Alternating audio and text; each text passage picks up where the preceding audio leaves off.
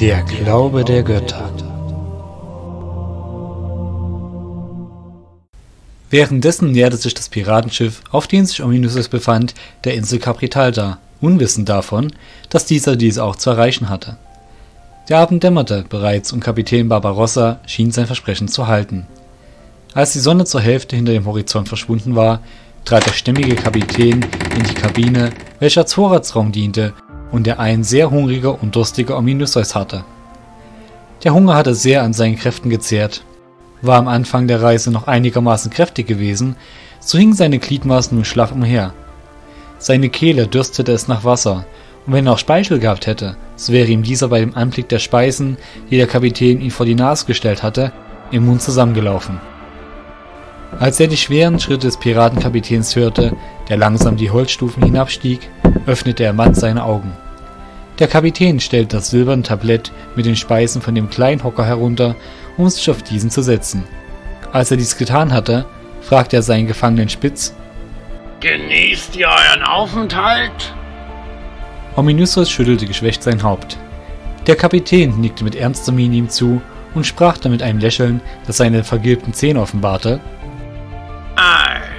das kann ich mir gut vorstellen. Ich kann euch aber euren Aufenthalt angenehmer gestalten, indem ich euch als mein Gast betrachte. Darum frage ich euch, wie sieht es aus? Habt ihr mein Angebot überdacht? Ja, ich heiße Ominöseus. tönte es matt von dem Helden. lachte der Kapitän laut aus und löste die Ketten mittels eines Schlüssels, den er in einer seiner Taschen verborgen hatte.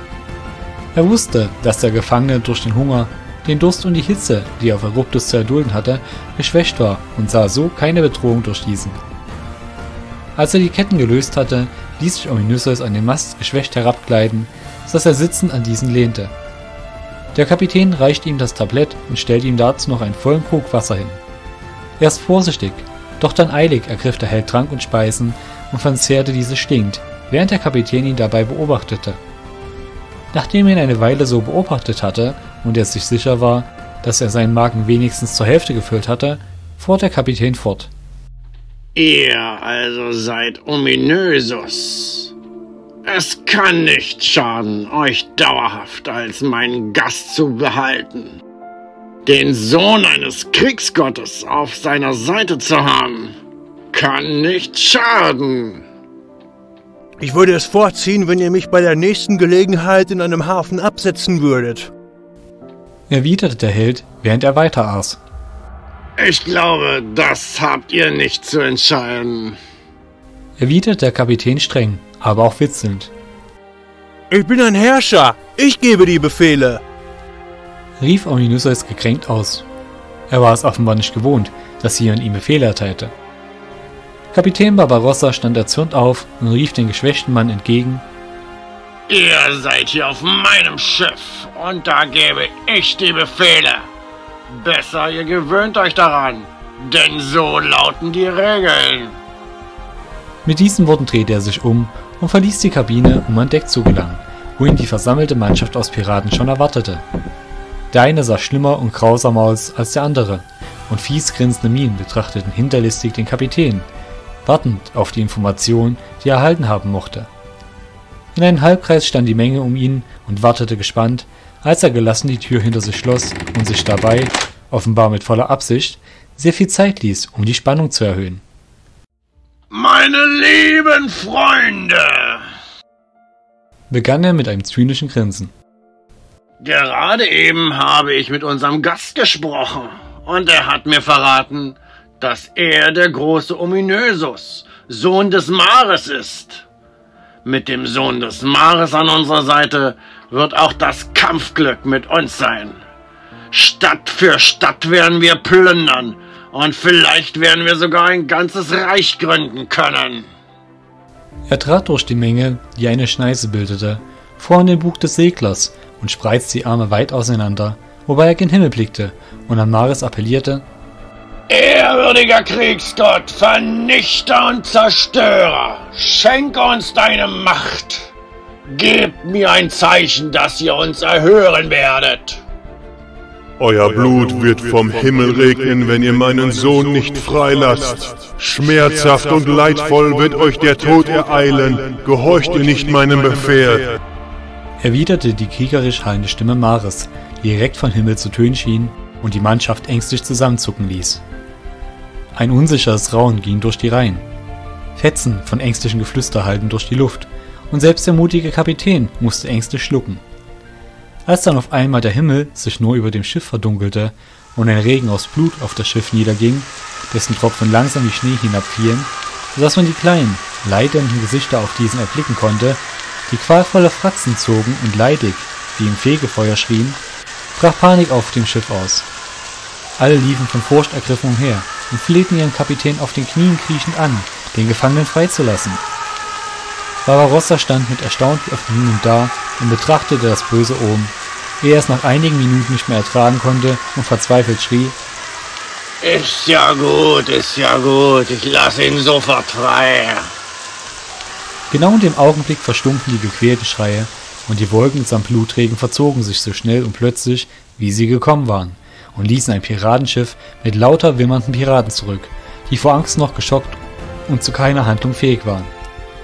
Nur der Kapitän hatte noch genug Courage, sich eins zu seinen Gefangenen zu begeben und diesen zehrend an Bord zu bringen, um ihn hastig zu erklären, dass er frei sei. Ehe dieser das fassen konnte, wurde er auch schon mit einem Beutel Proviant in eines der Beiboote gedrängt und von dem Kapitän abgeseilt, sodass er sich frei bewegen konnte. Während der Held, noch verblüfft von seiner schnellen, übereilten Freilassung, fassungslos im kleinen Boot saß, entfernte sich der schnelle Segler uneinholbar. Nie wieder Gefangene! sprach Barbarossa zu sich selbst, als er das Steuer anpackte und Befehl gab, noch mehr Segel zu setzen, damit sie den Unheilsboden möglichst schnell verließen. Ominös sah noch eine Weile dem Schiff hinterher, während die Sonne langsam begann, komplett hinter dem Horizont zu verschwinden. Es würde nicht mal mehr eine Stunde dauern, bis sie völlig verschwunden wäre, weshalb der Sohn des Mares sich umblickte, da er nicht in völliger Dunkelheit auf einer Nussschale in ihm unbekannten Gewässern treiben wollte. Er konnte nur eine einzige Insel ausmachen, die von scharfen Klippen umgeben war. Hätte er eine Wahl gehabt, so hätte er sich anders entschieden, denn obschon die scharfen Klippen für ihn gefährlich wirkten, so konnte er auch an den Wirbeln im Wasser erkennen, dass gefährliche Strömungen die Insel umspülten und sein Boot mit Sicherheit an die zahlreichen kleinen Felsen, die aus dem Wasser ragten, schlagen würden, so dass dieses zerschellte. Doch Not kennt bekanntlich kein Gebot, weshalb er in Richtung der Insel paddelte. Als er sich ihr auf etwa 50 Meter Entfernung genähert hatte, kam, was er vorhergesehen hatte. Ein der Strömungen ergriff sein Boot und zog es mit so gewaltiger Kraft in Richtung einer der Felsen, dass es dem Helden unmöglich war, das Zerschellen zu vermeiden. Im letzten Moment sprang er von dem Boot ab, welches daraufhin mit einem lauten Krachen lauter Holzteile zersprang und paddelte erfolglos gegen die Strömung an. Sie trieb ihn zu einem weiteren Felsen, an dem er sich festhielt. Mit aller Kraft gelang es ihm, sich an diesen entlang auf dessen andere Seite zu hangeln und eine weitere Strömung zu erreichen. So näherte er sich mit großen Umwegen langsam dem Strand, den er erschöpft in der Dunkelheit der Nacht erreichte. Er hatte es geschafft, dachte er, und Koch erschöpft und von den mehrfachen Aufprallen auf die Felsen entkräftet, etwas weiter an Land, wo er eine Art Höhle in den Klippen sah. Es war vielmehr eine Art große Nische, da sie nur einige Meter in den Fels führte. Dort kam der Held erschöpft zum Liegen und schloss die Augen, um in einen tiefen Schlaf zu fallen. Die Sterne glitzerten an dem magisch schönen Firmament und erzählten mit Hilfe der Fantasie Geschichten, die nie passiert und Abenteuer, die nie erlebt worden sind. Doch dass Sachen nie passiert sind, bedeutet nicht, dass sie nie passieren werden. Manchmal will es das Schicksal, dass eine Geschichte erzählt wird, deren Vorstellung überragend und deren bloße Existenz bedrohend erscheint. Eine Geschichte, die in den Dunkeln des Himmels zu schlummern scheint und darauf wartet, geweckt zu werden. Und so fühlte Panthaulus, als er unweit der Stadt Minas sich zur abendlichen Ruhe in einen der dichten Wälder auf eine bemooste Wiese zurückgezogen hatte, erneut einen Hauch von Schicksal, als er auf dem Rücken ruhend den Ausschnitt des Abendhimmels betrachtete, den ihn die kleine Lichtung bot. Ein Tribunal von Sternformationen, deren Umrisse große Köpfe erkennen ließen, in denen jeweils zwei rote Sterne als Augen fungierten, schienen thronend und verachtend auf die Welt zu blicken. Auch eine Sternschnuppe kam des Weges und zog eine Bahn über die Köpfe, ehe sie mit einem hellen Glühen erlosch. Nachdem sie verschwunden war, erlosch das Licht der Sterne, über die sie geflogen war, und so entstand eine Forsche durch die drei Köpfe, wobei auch deren Augen erloschen. Konnte es tatsächlich Zufall sein, dass gerade diese Sterne ihr Leben verloren hatten? Auch wenn diese Sterne gegangen waren, so war es weniger ein Ende als ein neuer Anfang. Denn wenn das Alter sein Tribut fordert, so müssen die Tributzollenden gehen, damit neue kommen können, die das Alte ablösen und dort Neues schaffen, wo es gebraucht wird. Hm, ein Omen? Sprach der Faun leise vor sich hin und konnte sich, ermüdet durch die Aufregung des Tages, nicht mehr dem Drängen seiner sich schließenden Augenlider erwehren und fiel in einen tiefen Schlaf.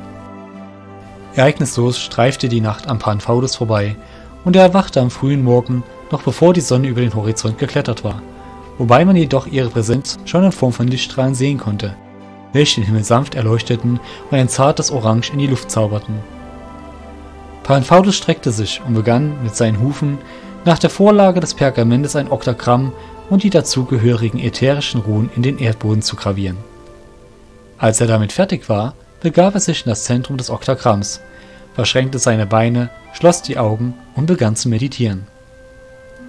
Zuerst schien nichts zu geschehen, doch nach etwa einer halben Stunde begann der Raum um Panfaudus blau-weißliche Kügelchen in der Luft hervorzubringen, die langsam blinkten und sich dem Faun näherten, um in ihm zu verschwinden. Als die erste dieser Mana-Kugeln in den Faun eindrang, begann die nördlichste Spitze des Oktagramms im bläulich-weißen Farbton aufzuleuchten. Mit jeder weiteren Mana-Kugel gesellte sich mehr Mana in die Fugen im Boden, so dass es aussah, als wenn man in die nördlichste Spitze überaus langsam eine zähflüssige Substanz gab, die sich langsam in den Fugen ausbreitete, und zwar in der Richtung, wie der Zaubernde die Fugen gezogen hatte. Nach und nach füllte sich so mehr der geraden, und immer wenn einer der Spitzen vollkommen gefüllt war, begann die entsprechende Rune, welche sich in der Spitze befand, ebenfalls aufzuleuchten.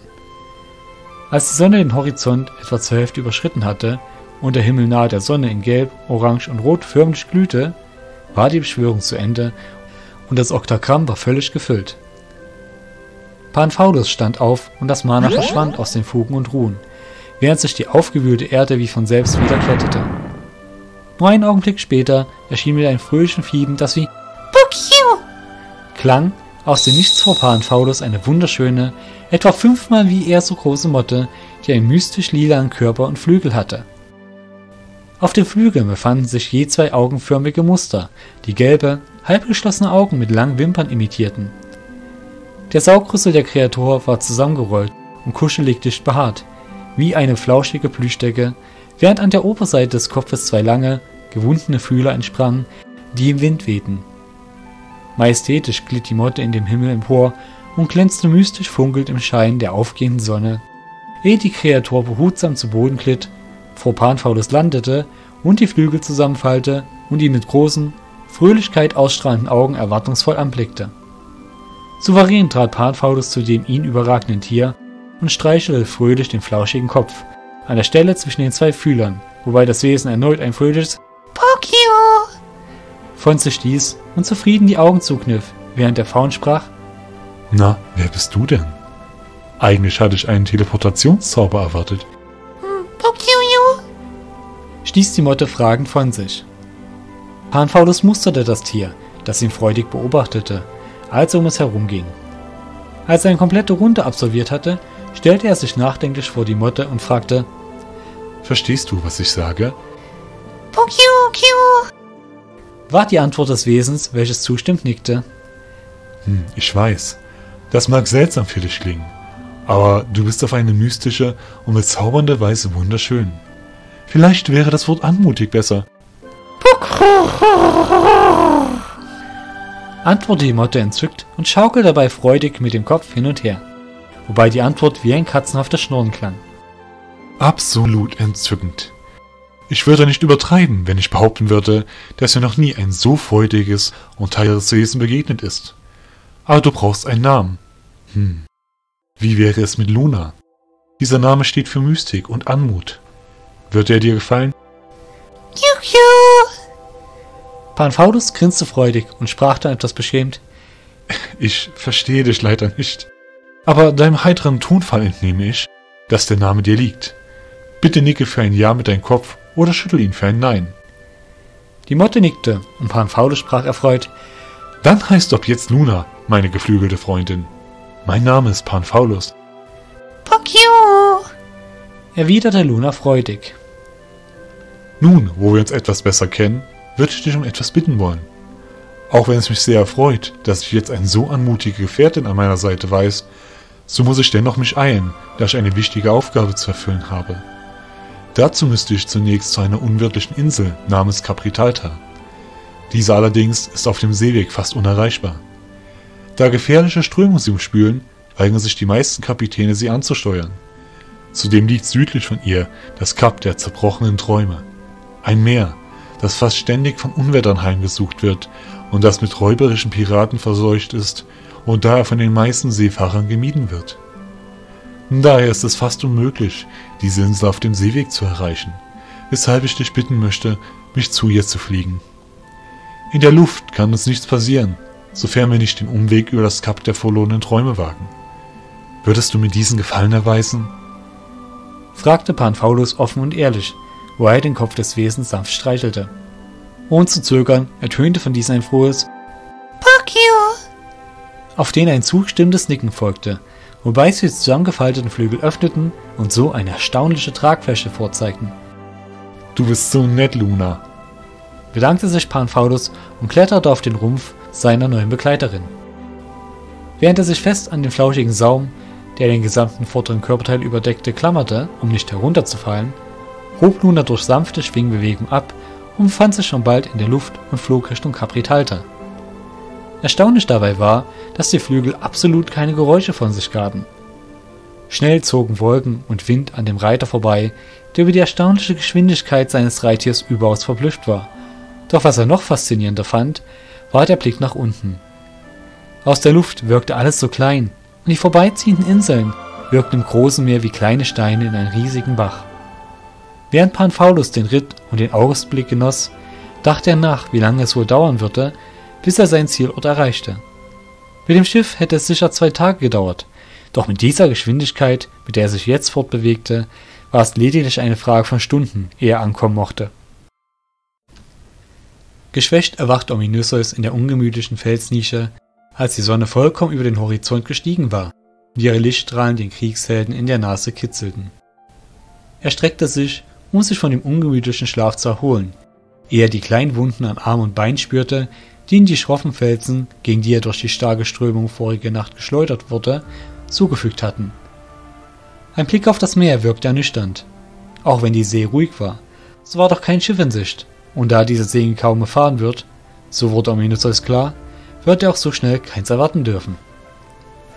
Notgedrungen suchte er die steilen Klippen am Strand nach einer Aufstiegsmöglichkeit ab oder nach einem besseren Unterschlupf.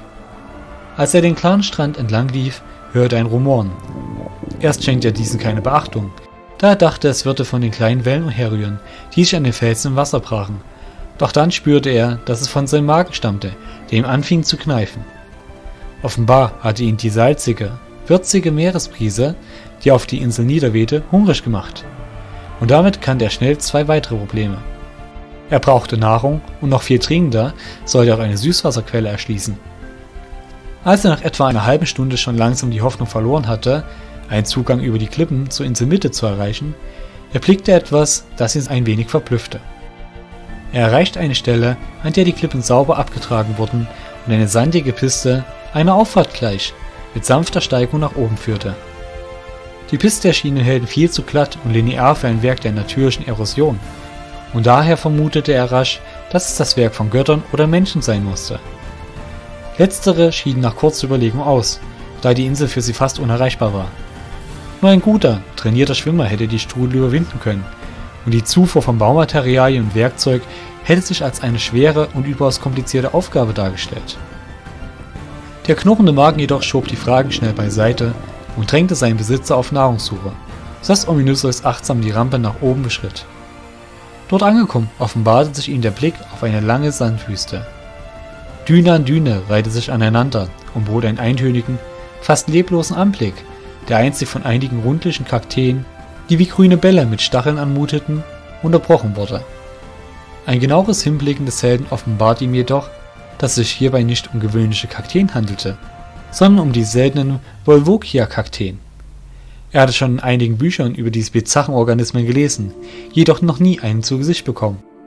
Aufgrund ihrer Seltenheit und den köstlichen Geschmack ihres überaus reichlichen Fruchtsaftes gelten sie als eine begehrenswertige Delikatesse. Hinzu kommt noch, dass man ihnen nachsagt, dass sie eine erstaunliche Bandbreite an Heileffekten haben.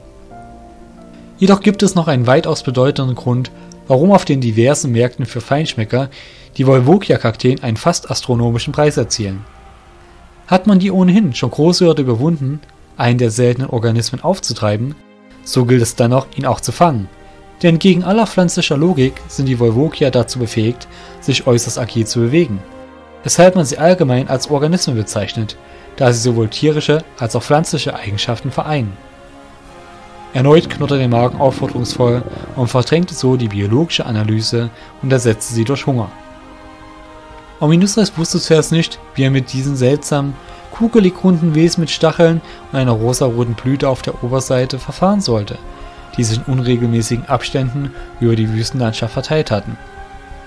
Instinktiv bemühte er sich leise und ungesehen einer der Volvokia zu nähern, ohne zu wissen, dass diese Wesen über keine Augen verfügten, sondern mittels einer magischen Aura ihre Umwelt wahrnehmen, was dazu führte, dass der Held nur bis auf einige Meter herankam, ehe die eine Volvokia mit einem schnellen Sprung, ähnlich eines Hasen, einige Meter weit floh, wobei ein kurzes und heiteres in hohen Ton ertönte.